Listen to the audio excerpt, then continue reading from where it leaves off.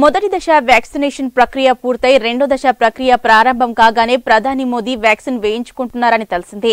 రెండో దశలో ప్రధాని నరేంద్ర మోదీతో పాటు అన్ని రాష్ట్రాల ముఖ్యమంత్రులకు ఈ టీకా ఇవ్వనున్నట్లు సమాచారం.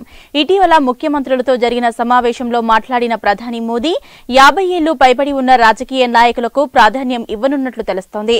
అయితే ఎంపీలు ఎమ్మెల్యేలను కూడా ఫ్రంట్ లైన్ వర్కర్గా గుర్తిస్తూ వారికి మొదటి దశలోనే వ్యాక్సిన్ ఇవ్వాలని హర్యానా బీహార్ ఒడిశా రాష్ట్రాల ముఖ్యమంత్రి ముఖ్యమంత్రులు మోదీకి సూచించారు. అయితే అందుకు మోదీ ఒప్పుకోలేదని తెలిసింది. రాజకీయ నాయకులు ఎవరూ మొదటి దశలో వ్యాక్సిన్లు వేయించుకోవద్దని మోదీ స్పష్టం చేశారు.